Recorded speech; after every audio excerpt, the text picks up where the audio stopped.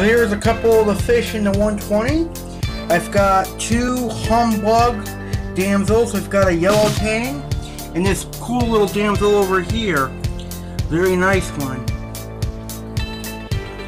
I'm gonna wait a few weeks before adding anything else to this tank. But so far, so good. Yellow tang is very, very hardy. And so far the fish are doing well, eating and looking happy in the 120.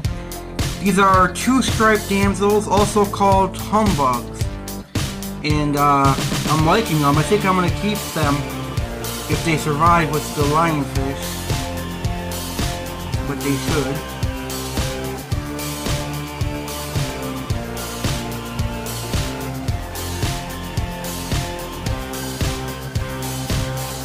Enjoy. It's been a long time since I've had fish in this 120. What do you think my rock work? Parting the stains on the glass.